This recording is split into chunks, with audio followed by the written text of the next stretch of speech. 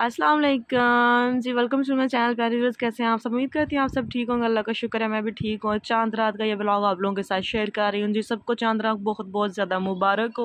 और थोड़ा सा बंदा अफसरदा भी क्योंकि रमज़ान जो है वो ख़त्म हो चुका है, अगला रमज़ान पता नहीं नसीब होना कि नहीं। और ऐसा देखें, यहाँ पर कमाई करके बैठ गया हुआ चोट लगवा लिया। तो बस मैं भी यहाँ पर शुरू हो चुकी हूँ चाँद रात की तैयारी के लिए बर्तन जो मैंने धो कर चुटकी बजा कर उनको स्टैंड में लगा दिया। और कुछ बर्तन मैंने निकाले, यहाँ पर बना ली हूँ जी, एक dessert लबेशरी dessert dessert trifle fruit custard कुछ भी आप बोल सकते हैं। मैं नए तरीके से एक नई किस्म का बना रही हूँ, जो माशाल्लाह से बहुत ही लजीज बनेगा और बन चुका और मैं यहाँ पे देख रही हूँ कि जब कोई मौका हो इस तरह का तो हाथ पैर कितने काले स्याह हो जाते हैं। तो ये देखिए, बस सुबह इधर मेरे हाथों की हालत देखी क्योंकि मैंने अभी तक कोई ब्लीच वगैरह कुछ भी नहीं किया। तो इसके लिए मैंने सबसे पहले डेजर्ट बनाने के लिए पानी गर्म कर लिया और जैलियाँ जो है, उनको मैं मिक्स करके जमा लूँगी। तो सबसे पहले मैंने मैंगो वाली लिया थोड़ा सा आधा कप पानी लिया, उसमें आधा पैकेट जैली का डाला मिक्स किया अच्छे तरीके से और उसको प्लेट में डाल के तो रख दूँगी। इसी तरीके से जो बाकी की जाली है, उनका भी मैं ऐसे ही करूँगी। पानी डालूँगी पहले, फिर उसमें आधा पैकेट जाली का डालूँगी और फिर उसको मिक्स करूँगी अच्छे तरीके से और फिर प्लेट में डाल कर रख दूँगी। इसी तरह से मैंने तीनों जो जालियाँ रेड ब्लू रेड ग्रीन और येलो तीनों को जमा लिया तो चलते हैं जी, अब दूसरी तरफ़ यहाँ पर मैंने दूध रख दिया बॉयल होने के लिए उसमें डाल दी, मैंने हंसबे ज़रूरत चीनी और अब इसको मिक्स करते हैं यहाँ पर मैंने थोड़ा सा नमक भी ऐड किया, वो मैं दिखाना नहीं सॉरी दिखा पाई उसके लिए। तो बस ये देखें, यहाँ पे दूध जो उसको बॉयल आना स्टार्ट होगा उस दूसरी तरफ़ मैंने ले लिया जी मैंगो का custard mango my favourite most most favourite तो उसमें से मैंने तीन चम्मच, साढ़े तीन चम्मच इसमें डाल के तो इसको अच्छे तरीके से ठंडा दूध लेके उसमें मिक्स कर लिया, एक छोटे से बाउल में, और उसको अच्छे तरीके से उसकी गुटलियाँ सारी रिमूव कर लेनी है। साथ दूसरी तरफ़ दूध जो है उसमें बॉयल आ रहा है, इसको मिक्स करते हुए, और दूसरी तरफ़ उसमें चम्मच हिलाते हुए दूध में ना हल्का हल्का थोड़ा थोड़ा डालते जाना और घुमाते जाना रुकना नहीं, क्योंकि इसमें गुटलियाँ बन जाएँगी, और सुबह ईद है तो इसलिए मज़े का बनना चाहिए, ताकि ईद का मज़ा जो है वो दो दो दफ़ा हो जाए मतलब दोबाला हो जाए। तो बस ये देखें जी, इसमें मैंने डाल दिया सारा मैंगो का कस्टर्ड, इसको अच्छे तरीके से थोड़ी देर के लिए पाँच सात मिनट पका देना हल्की आँच पर वक्फे वक्फे से हिलाते जाना है, ताकि गुटलियाँ ना बने, बहुत ही समूथ सा रहे ये, ठीक है? तो बस ये देखें जी, यहाँ पर कस्टर्ड रेडी हो चुका है, अब इसको उतार के तो ठंडा कर लूँगी मैं, आपको दिखा हूँ देखें, अब ठंडा होकर और गाढ़ा हो जाएगा तो इतना ही काफ़ी है। बस यहाँ पर मैंने जो रंगीन सवैयाँ उनका भी मैंने पानी पहले गर्म किया, उसमें डाल कर बॉयल कर लिया और निकाल कर ठंडा कर लिया, और इनको मैंने फ्रिज में रखा, दोनों चीज़ों को, ताकि अच्छे तरीके से ये ठंडी हो जाए पहले रूम टेम्परेचर पर लाई थी मैं ठीक है? उसी के साथ ही ये देखे, मैं आपको दिखा रहा हूँ कि यहाँ पे मैंने घड़ी मंगवाई और ये सौ की इतनी सी घड़ी है, तोबा, या अल्लाह, माफ़ करे, उठा ही ले इन महँगाई वालों को। तो बस ये देखे, मैंने यहाँ पे थोड़ी सी जो घड़ी है, उसको मैंने बरीक बरीक क्रश कर लिया, थोड़ी सी मैंने ऐसे पीसेस कर लिया सजावट के लिए। तो बस ये यहाँ पे आपको दिखा रही हूँ, इस जो मैं रेसिपी बना रही हूँ डेजर्ट या ट्रिफल उसमें जी खोया ऐड होना था, खोया मुझे नहीं मिला। तो मेरी जो नंद है बड़े वाली वो लेके आई थी जी मिठाई, बर्फ़ी। तो मैं सोचा, चले जी, मैं यही डाल लेती हूँ, थोड़ा फ़ायदा उठाते हैं और इस्तेमाल में भी लाते हैं और मज़ा जो है ना वो दो मतलब दोबाला कर लेते हैं। तो मैंने सोचा जी, मैं एक नई रेसिपी आप लोगों के साथ शेयर कर रही हूँ, जो मैं अपनी बना रही हूँ। मैंने किसी की रेसिपी को फॉलो नहीं किया, मैं अपनी मर्ज़ी से बना रही हूँ। आप लोग भी ज़रूर ट्राई करें, माशाल्लाह से बहुत ही मज़े की बनती है और बार बार बनाएँगे। और मेरे घर पर जिसने भी खाई, उसने तो बार बार कहा जी, हमें फिर दोबारा बना कर दें, फिर दोबारा बना कर दें। तो बस ये देखें जी, मैंने यहाँ पर मिठाई के ऐसे पीसेस काट लिए छोटे छोटे क्यूब्स की शक्ल में माशाला जब भी ये नीवा चम्मच में आएगा, बहुत मज़े की लगेगी। तो बस ये देखें, यहाँ पे जो कस्टर्ड है हमारा, वो भी ठंडा हो चुका अब उसी के साथ ही जेलियों को काट लेते हैं। सबसे पहले मैं जो इसका बर्तन था वो तब्दील किया ताकि थोड़ा बड़ा बर्तन लिया, मिक्स करते हुए हमें मुश्किल ना हो। तो बस ये देखें, मैंने यहाँ पे दूसरी देगची में डाला थोड़ी सी बड़ी है जो साइड पर करते हैं इसको। उसके पहले जी इसमें ऐड कर रही हूँ मैं यहाँ पर क्रीम जो मैंने मंगवाई है शॉप से। ये जो टेट्रा पैक क्रीम है ना, अक्सर फ्रूट चाट वगैरह में इस्तेमाल होती है। ये देखें, अब मैं ये इसमें ऐड कर रही हूँ।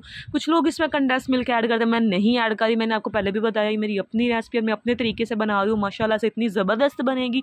आप लोग भी एक दफ़ा बना कर ज़रूर ट्राई करें, इंशाल्लाह आपको इतना मज़ा आएगा कि आप लोग इसके फ़ैन हो जाएँगे। मेरे घर वाले तो इसके फ़ैन हो चुके हैं, आप लोग भी बनाएँ और अपने घर वालों को इसका फ़ैन कर लें। बाकी चीज़ें सवैयाँ, खीर, कस्टर, हलवा वगैरह खा खा के सूची बंद आकर जाता तो ये कुछ नया भी ट्राई करना चाहिए। तो बस ये देखें, जाले जो उनको मैंने थोड़ी देर पहले रूम टेम्परेचर उसके बाद फ्रिज में रखा, जमाल का अच्छे तरीके से बहुत ही प्यारे क्यूब्स बनकर रेडी हो चुकी हैं। तो अब ऐसे ही मैं जो बाकी के उनको भी काट कर पीसेस कर लेती हूँ, आपके सामने ही मैं काट रही हूँ। इसी के साथ ही आप सबसे गुजारिश है, जिसने मेरे चैनल को सब्सक्राइब नहीं किया, जाकर मेरे चैनल को सब्सक्राइब कर दें, मेरी वीडियो को लाइक कर दें और एक प्यारा सा कमेंट भी लाजमी कर दें। इन मेरे सब्सक्राइबर्स की जो डिमांड थी, वो तो पूरी हो चुकी है। सिर्फ़ वॉच टाइम की रह गई है इन वो भी बहुत जल्द पूरी हो जाएगी मेरा चैनल मोनिटाइज हो जाएगा इन शाला तो बस ये देखिए, मैंने सारी जो जेलीज है, उनको क्यूब्स ऐसे काट ली हैं और अब चलते हैं जी मिक्सिंग की तरफ़।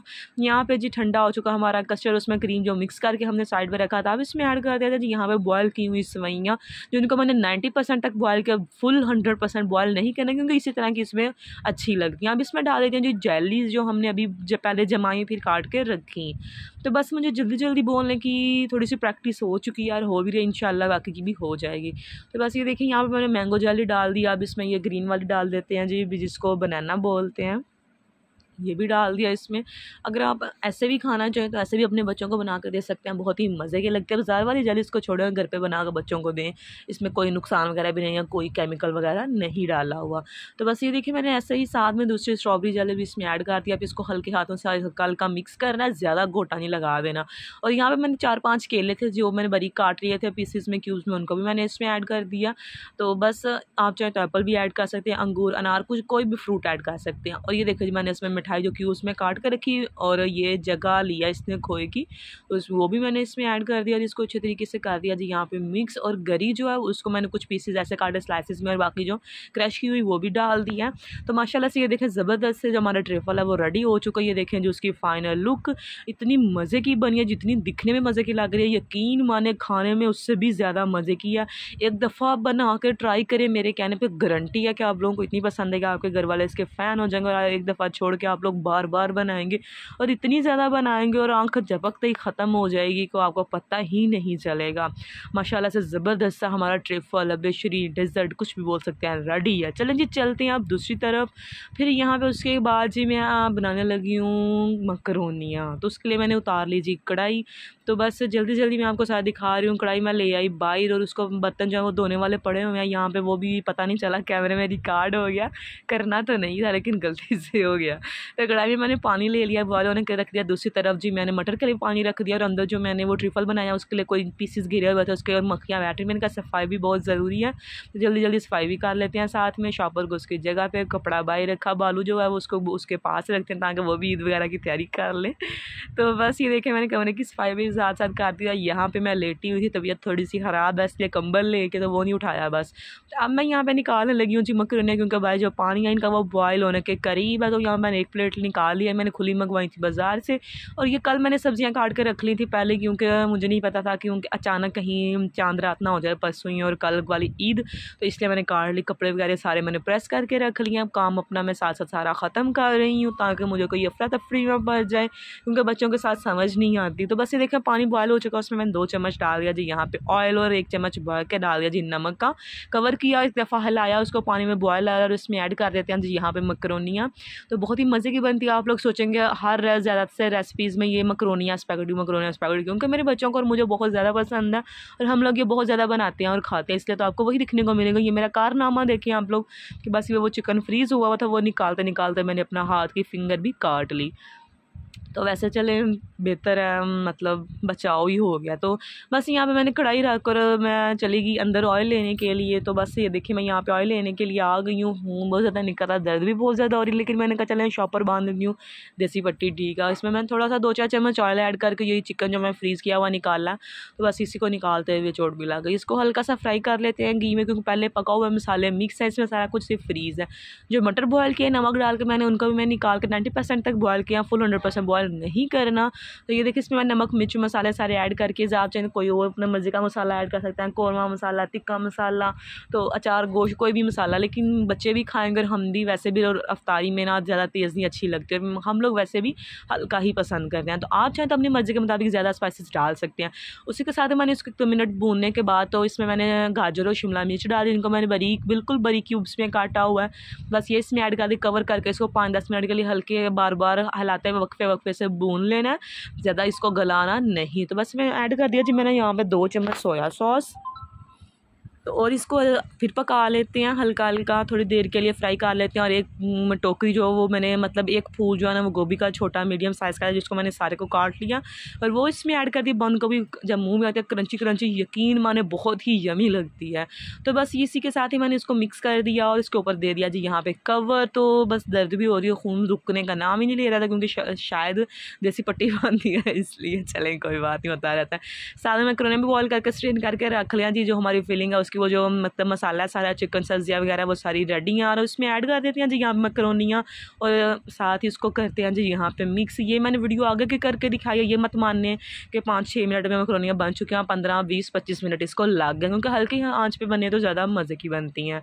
बस इतने कितनी खूबसूरत लग रही है माशा ज़बरदस्त, जितनी ज़बरदस्त दिखने में लग रही है, उससे ज़्यादा मज़े की ये खाने में है। तो बस ये मेरी आज की जो चाँद रात की थोड़ी सी तैयारी है, मैंने कुछ मीठा जब वो बना के रख लिया और ये अभी खाएँगे, कुछ बच जाएँगे वो सुबह खाएँगे तो बस उसी के साथ ही यही थी छोटा सा व्लॉग अगर आपको पसंद है तो प्लीज़ लाइक करें शेयर करें कमेंट करें और ये देखिए जी मेरी मकरोने कितनी ज़बरदस्त लाग रही हैं। अगर आपको पसंद है तो प्लीज़ इसको ज़रूर लाइक करें और ज़रूर ट्राई करें। तो इसी के साथ ही आप लोग भी अपनी भी जो कमेंट होते हैं वो मेरे साथ शेयर कर सकते हैं। तो उसके साथ मैं थक चुकी हूँ, अफ्तारी की बात आके मैं थोड़ा सा लेट गई। बच्चे यहाँ पे एहसान बैठा हुआ इंतज़ार कर रहा बाकी जो है वो लेट के कार्टून देख रहे हैं समझ ही नहीं आ रहा क्या करूँ और मैं बस ऐसे अपने कमरे की नज़रें कमरे को देख रही थी क्योंकि पहले कभी ना देखा चवलें शोइयाँ मारने शुरू हो गई। तो बस यहाँ पर मैं लेट कर वेट कर रही हूँ और हाथ पर जब वो दर्द बहुत ज़्यादा हो रही थी, लगी तो थोड़ी सी है, लेकिन वो नोक लगी है तो उसकी वजह से दर्द तो हो रहा है। तो बस यहाँ पर मैं बैठ के इंतज़ार करी, अब क्या करूँ क्या करूँ, जो मेरे मेके से ईद आनी है, वो नहीं अभी तक आई, क्योंकि ज़ाहिर सी बात है, चाहे ज़्यादा कुछ ना है, लेकिन इंसान को चाहत तो होती है ना, शौक होता है कि दिल में ख्वाहिश होती है, मेरे मेके से भी मेरे लिए कुछ है। तो ये देखे बस वो वो आ चुकी हैं लेके मेरे लिए, और मैं जल्दी से रिकॉर्ड किया कि मैं आप लोगों के साथ भी शेयर करूँ, क्योंकि मेरी खुशी की इंतहा नहीं है ये भी जो चीज़ है मेरे लिए हज़ारों लाखों के बराबर हैं। फिर भी मैं बहुत ज़्यादा खुश। अल्लाह उनको और ज़्यादा दे, अल्लाह उनको सेहत तंदरुस्ती दे, खुश रखे। माशाल्लाह से बहुत अच्छी हैं, बहुत प्यार करती हैं। मुझे तो बस ये मैं आपको दिखा रही कि वो क्या क्या लेके आई हैं। साथ में कुछ और भी चीज़ें जो मैं नहीं दिखा सकी उसी के साथ ये जो सुबह का टाइम हो गया, फिर मैं यहाँ पर उठ चुकी हूँ। समझ नहीं आ रहा क्या करूँ। हस्बैंड के कपड़े प्रेस किए उठने में लेट हो गए। तो बस ये देखें, यहाँ मैं आपको दिखा रही थी कि मैं जल्दी लेट हो गई हूँ। तो जल्दी जल्दी मैंने उठ के पहले थोड़ी सी फिर मकरोनियाँ भी खा ली, क्योंकि भूख लगी थी मुझे रात को मैंने नहीं खाई थी। तो बस यही था कि छोटा सा विलाग प्लीज़ मेरे चाँद रात का व्लॉग है जो इसको ज़रूर लाइक करें, ज़्यादा से ज़्यादा शेयर करें क्योंकि मुझे सपोर्ट की ज़रूरत है आप सबकी, क्योंकि अपने ही सपोर्ट करते हैं, गैर थोड़ी सपोर्ट करते हैं।